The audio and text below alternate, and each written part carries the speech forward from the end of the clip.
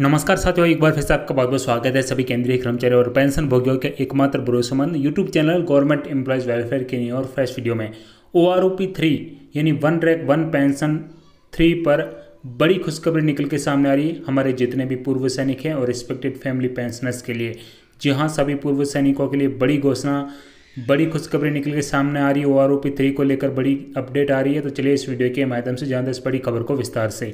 तो वीडियो को अंत तक ज़रूर देखिए और वीडियो को लाइक और शेयर ज़रूर कीजिए। तो साथियों, जैसा कि आप अपनी स्क्रीन पर देख सकते हैं, ये द ट्रिब्यून की तरफ़ से लेटेस्ट न्यूज़ जारी की गई है। आज, यानी सात जुलाई दो हज़ार चौबीस को ओ आर थ्री के संदर्भ में। जी हाँ साथियों, इसमें कहा गया है कि रक्षा मंत्रालय एमओडी ने लगभग 30 लाख सेवानिवृत्त सैनिकों और उनके परिवारजनों को लाभ पहुँचाने वाले एक कदम के तहत वन रैक, वन पेंशन यानी ओ आर थ्री योजना में संशोधन का प्रस्ताव रखा है। जी हाँ रिकमेंडेशन दी है। वन रैक, वन पेंशन, तीन को लागू करने को लेकर और रक्षा मंत्रालय ने वेतन वृद्धि का एक फॉर्मूला जो है, वो सुझाया है और 23 जुलाई को संसद में केंद्रीय बजट पेश किया जाना है।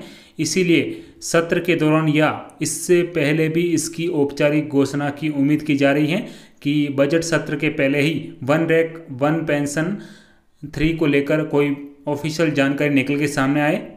जैसा कि आप सभी को पता होगा कि जो हमारे सभी पूर्व सैनिकों और रिस्पेक्टेड फैमिली पेंशनर्स के लिए O R O P three का जो ला इम्प्लीमेंटेशन है, वो एक जुलाई 2024 से होना है और इसको लेकर ये लेटेस्ट खबर निकल के सामने आ रही है जुलाई महीने में कि जो है वो 23 जुलाई को संसद के बजट सत्र के दौरान O R O P three को लेकर बड़ी घोषणा की जा सकती है या संसद सत्र के पहले ही सरकार की तरफ़ से कोई औपचारिक घोषणा की जा सकती है, one rank, one pension, three को लेकर।